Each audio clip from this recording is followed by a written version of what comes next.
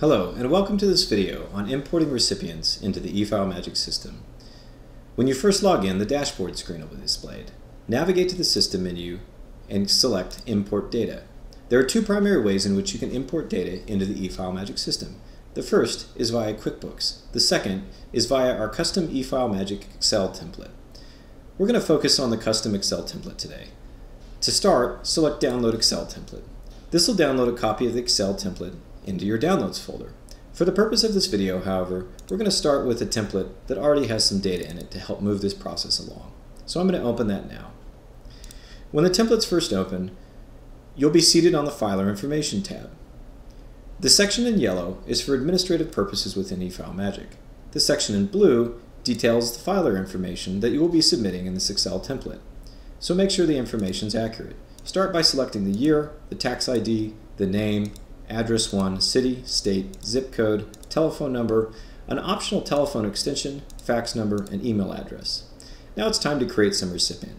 You'll notice below that each individual worksheet is labeled with a form ID. This is how you create recipients in the import process. We're going to go ahead and select 1099 Miscellaneous. You'll notice there's already some information in our worksheet. Let's go ahead and add another. One thing to note is that each column corresponds to the corresponding field on the form, so it should be very simple for you to enter this information.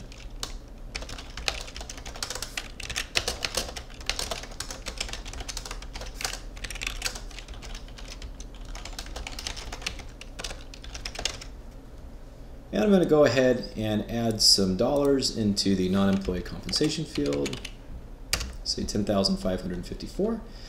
And now I'm finished, so I'm going to go ahead and save this, close it, and then to start the import, I'm going to select the file and I'm going to drag it over the Drag EFM Template Here section on my web browser.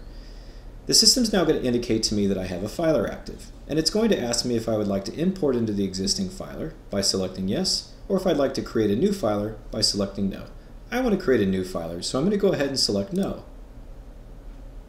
The system's now importing the data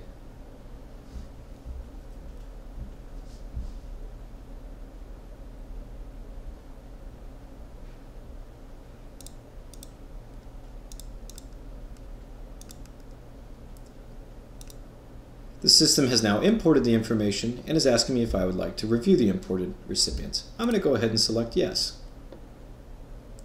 You'll notice that all four of the recipients that were contained within my spreadsheet have now imported successfully. This concludes the video on importing data into the eFileMagic system.